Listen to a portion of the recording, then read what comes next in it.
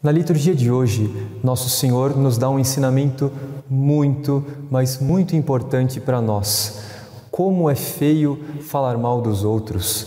Nós sabemos como são desagradáveis as pessoas que ficam fazendo fofocas, que ficam fazendo comentários inapropriados, observando só os aspectos negativos da vida e dos outros, como isso traz, por assim dizer, uma carga negativa, um peso na vida.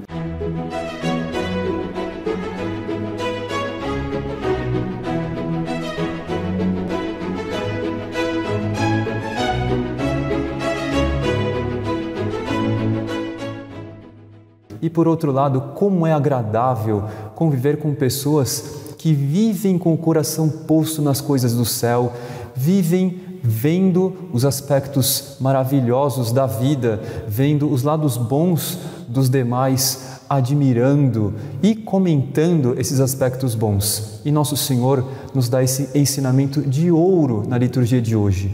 Não julgueis e não sereis julgados, mas Olhe a importância que ele dá esse ensinamento para cada um de nós, porque ele vai continuar: Pois vós sereis julgados com o mesmo julgamento com que julgardes.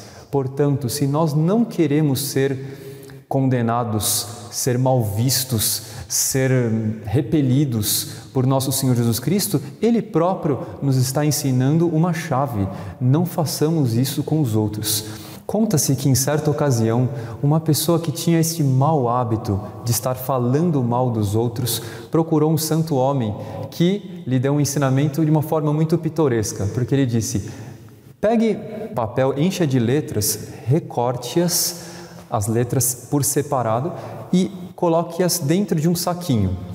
Vá no alto de um prédio, abra o saquinho e jogue todas essas letras para baixo. Depois volta aqui para falar comigo. Essa pessoa obedeceu esse santo homem, encheu um saquinho de letrinhas recortadas, foi no alto do prédio e jogou essas letras todas lá do alto. E viu as letras caindo, parecendo confetes assim. Ela não entendeu direito, depois procurou o santo e perguntou para que daquilo. Então o santo lhe disse: Agora vá atrás dessas letras, tente recuperá-las todas e formar com elas um dicionário.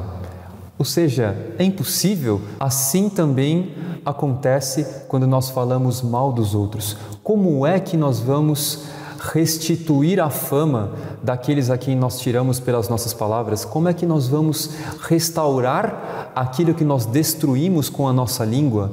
Isso é muito perigoso e nós podemos cair no juízo de Deus de uma forma muito negativa, sendo julgados da mesma maneira com que nós julgamos aos nossos próximos. Então vamos pedir neste dia de hoje a nosso Senhor Jesus Cristo, pela intercessão de Nossa Senhora, esta graça de sempre procurarmos falar bem dos demais, ver os aspectos positivos, as qualidades, as virtudes, tudo aquilo que Deus colocou na alma dos nossos próximos e segurarmos a nossa língua, costurarmos a nossa boca para não falarmos mal dos demais de forma alguma, tirando-lhes a fama.